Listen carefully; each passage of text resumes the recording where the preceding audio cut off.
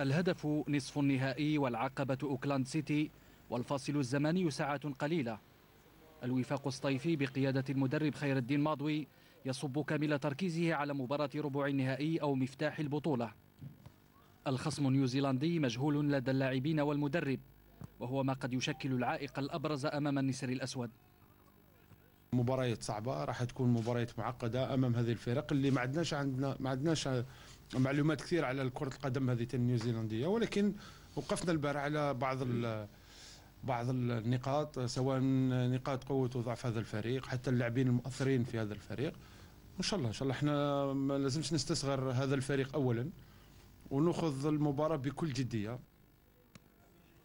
ملامح التشكيلة تبلورت في ذهن ماضوي وأبرز ما طرأ عليها المدافع الشاب سفيان بوشار الذي سيعوض عبد الغاني دم المصاب.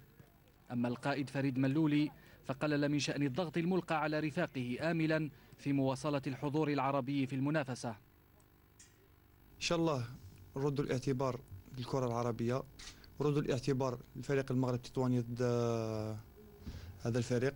وإن شاء الله نكونوا موفقين إلى حد بعيد آه، ومولي نعودوا بإنجاز آه، يشرف الكرة الجزائرية ويشرف الكرة العربية في حد ذاتها إن شاء الله.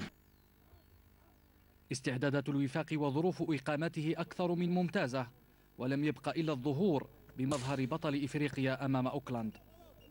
أنا نقول باللي إخواننا في المغرب يعني قايمين بمجهودات كبيرة باش يوفروا لنا كل كل الامكانات سواء في الإقامة أو في الأكل أو في التنقلات تاع تاع البعثه تاعنا.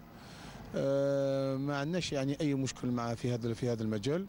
لهذا نقدر نقول باللي آه، الفريق تاعنا يعني راه يعني في آه، ظروف جيدة. بربي إن شاء الله راح نديروا مقابلة في المستوى وراح نفرحوا الشعب العربي والإفريقي وبالأخص الشعب الجزائري إن شاء الله وراح نفرحوهم برب باذن الله إن شاء الله. ساعات قليلة إذا تفصل وفاق سطيف عن أولى العقبات التي ستواجهه ضمن كأس العالم للأندية.